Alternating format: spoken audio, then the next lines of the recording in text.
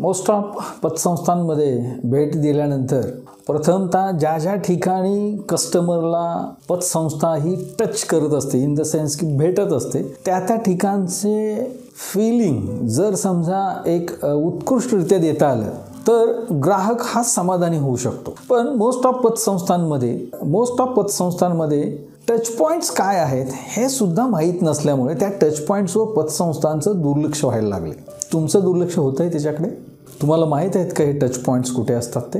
माहीत नसेल तर तुम्हाला आज या व्हिडिओमधून शंभर टक्के खात्री होईल की हे असे टच पॉईंट्स असतात. नमस्कार मी Sandeep Patil founder and CEO सॅपॅक private limited त्याचबरोबर कॉपरेटिव्ह कन्सल्टंट ट्रेनर्स तुमचं या भागामध्ये सरचे स्वागत करतो. आपल्या पतसंस्थांमध्ये मी जसं म्हटलं की टच पॉईंट्स जर तुम्हाला लक्षात आले तर तिथील जे काही फिलिंग आहे हे फिलिंग ग्राहकाला जर चांगलं देता आलं तर सर्विस सुद्धा आपली किंवा सर्व्हिसची जी काय आपण रेटिंग म्हणतो हे सुद्धा चांगल्या पद्धतीने आपल्याला उंचवता येतं. आता पाहिलं गेलं तर प्रत्येक ठिकाणी ग्राहकाला पतसंस्था जिथे टच होते जिथं स्पर्श होते अशा ठिकाणचं फिलिंग त्याला गुड आलं तर ग्राहक समाधानी व्हायला सुरुवात होते. आता मी टच पॉईंट्स आम्ही तुम्हाला काय सुचवतोय की ज्याच्यात बाबा तुम्हाला फिलिंग चांगलं देता येईल का? फॉर एक्झाम्पल असं होऊ शकतं की पहिला टच पॉईंट असू शकतो की त्याचं पार्किंग पतसंस्थेचं पार्किंग कुठे आहे? काही संस्थांना पार्किंगच नसतं. त्याच्यामुळे मोस्ट ऑफ टच पॉईंट इथं मिस होऊन जातो.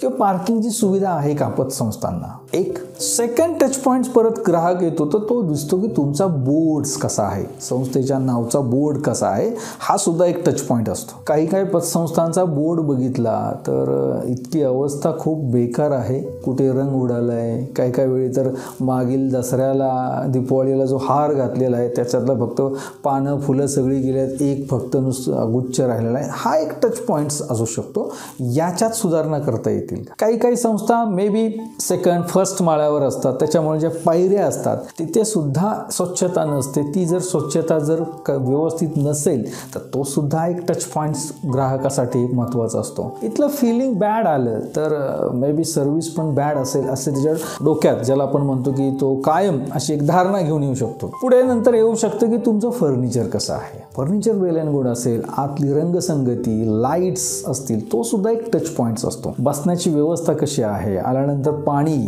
हा कन्सेप्ट आहे. पाणी कसं आहे? कशातून देत आहे? हे एक सुद्धा टच पॉईंट्स असतो. महत्त्वाचा एक अजून एक महत्त्वाचा टच पॉईंट असतो की तुमची जी फ्रंट लाईन आहे ती कशी आहे?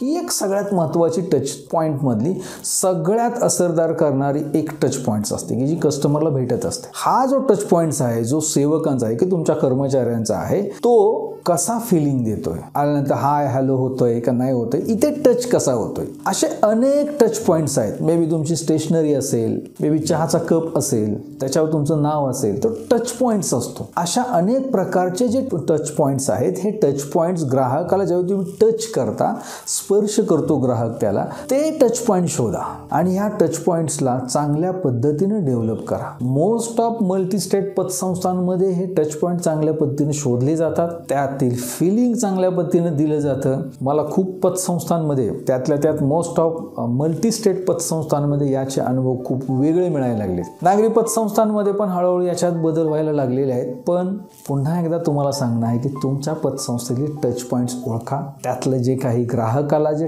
टच करण्याची जे फिलिंग आहे ते चांगलं बेस्ट बेटर देता येईल का? याच्यावर फोकस करा.